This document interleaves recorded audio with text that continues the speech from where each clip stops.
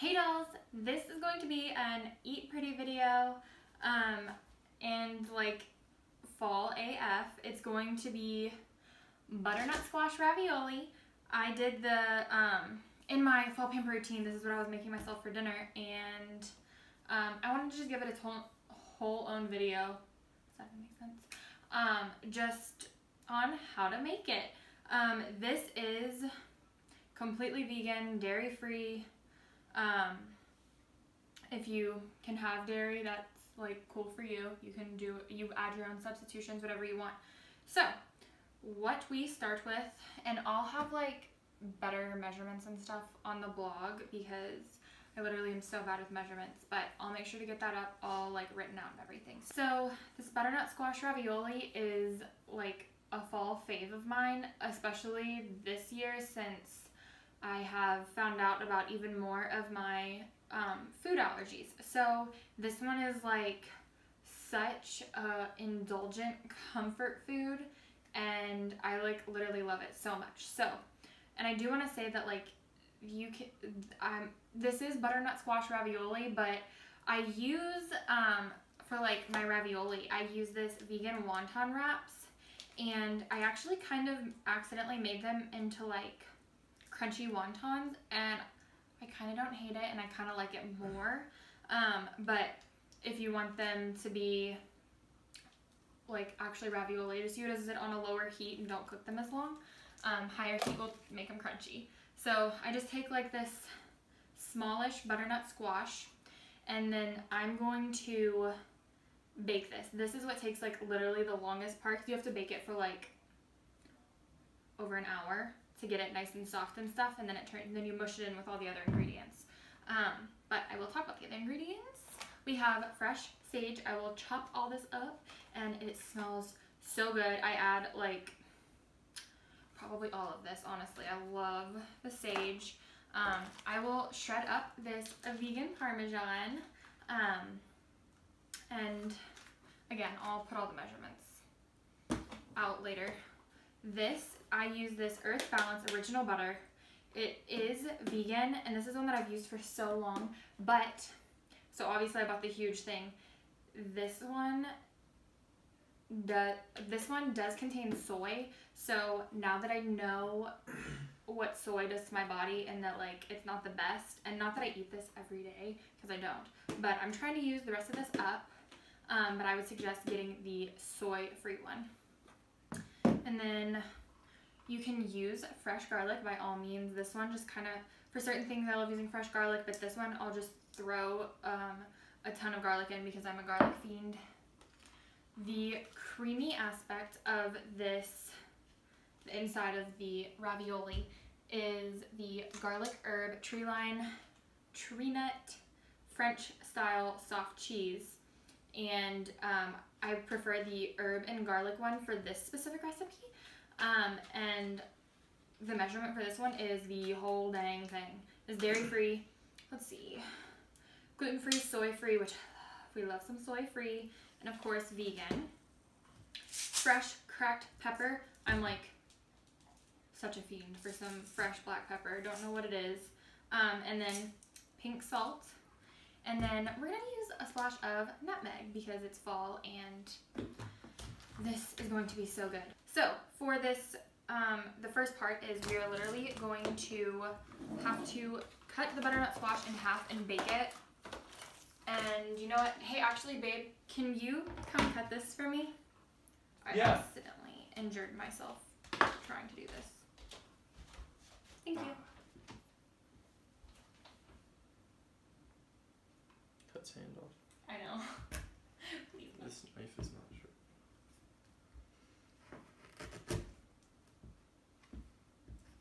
It's also really small.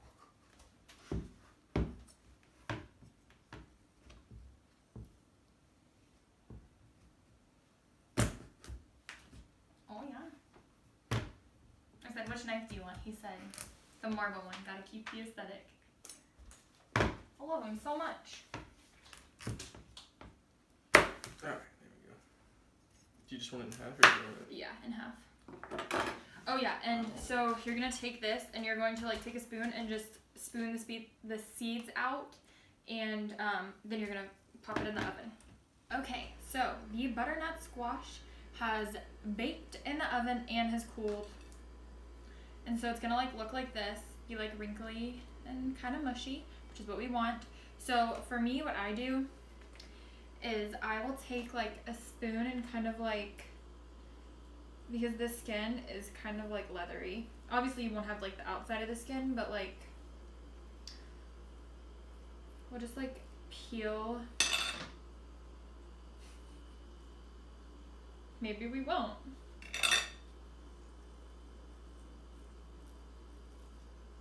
We'll just like peel like the leathery dried out kind of part. I mean, if you want that, leave it. Oh man, it smells so good. Okay.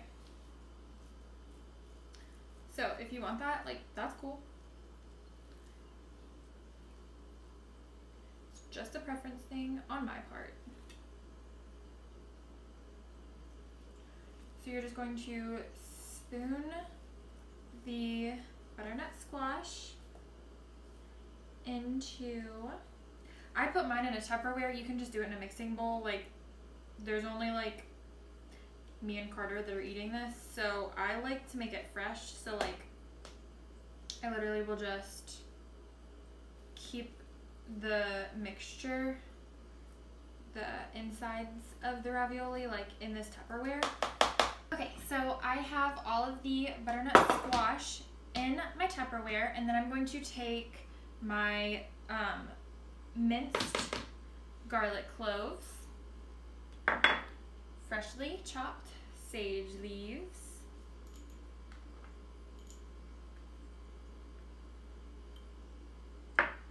and my freshly grated vegan Parmesan,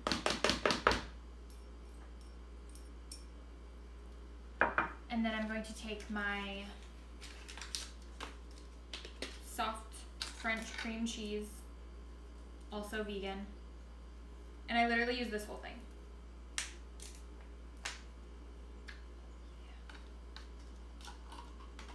And then I take fresh cracked pepper and pink salt just to taste.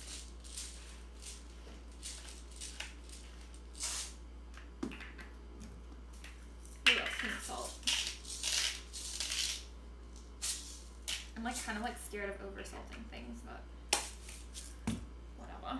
And then we're going to just take a little sprinkle, a little dash of some nutmeg. And then we're gonna mix it all up.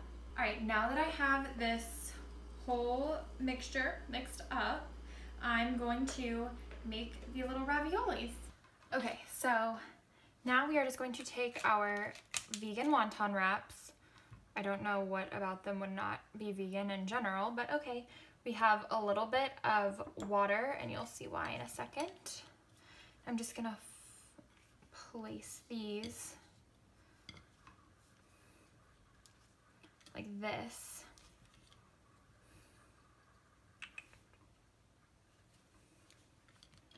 And seriously, just put like a little you can get messy, it's fine. It's just one of those things. Make it with love.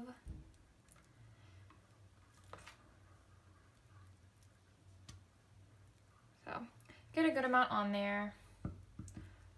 You know what, do whatever you want.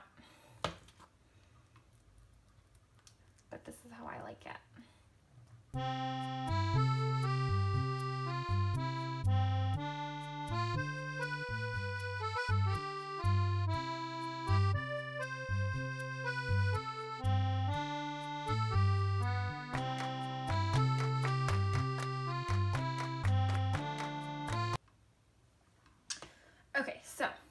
Now that we've got that part, we are just going to get a little bit on our finger, get the edges wet. And you guys can do these like in any shape you want. I used to do them in like little triangles, but then I figured out that this made life a lot easier. So you just take another one since the sides are already wet. You just squish it on there. And look, you have a little ravioli. And you'll just do that with all of them. And then we will head over to the stove where we finish these babies up.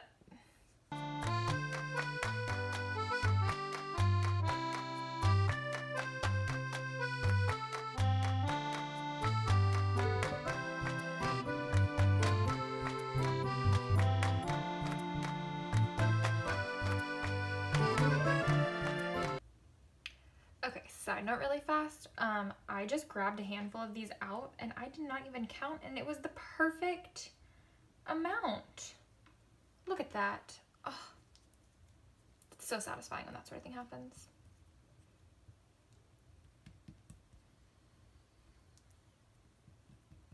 All right, let's head over to the stove. Okay, depending on how you want it, you're gonna turn this um, on to like a medium high heat if you want them to be more crunchy or a lower heat if you want them to be more like ravioli. So I'm gonna take a lot of butter.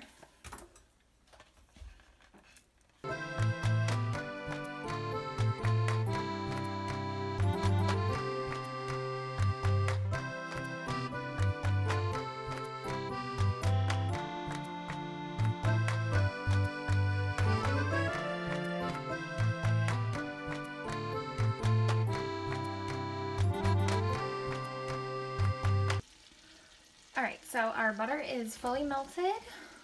So I'm just going to put these on in there.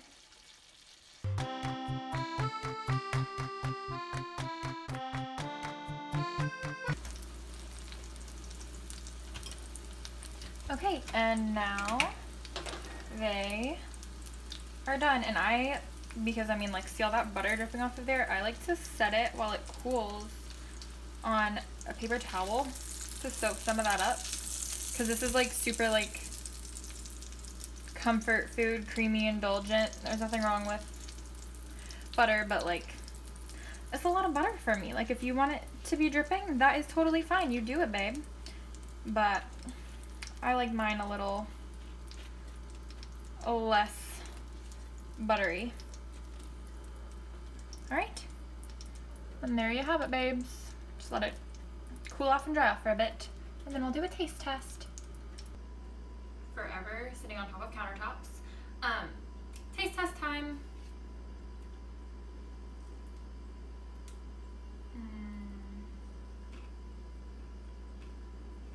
Mm-hmm. Mm-hmm.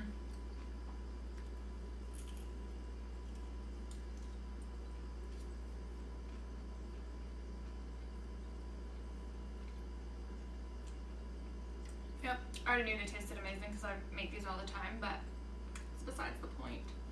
Um, I hope you guys try these, and I hope you enjoy. See you guys next time. Bye, dolls. I'm such a good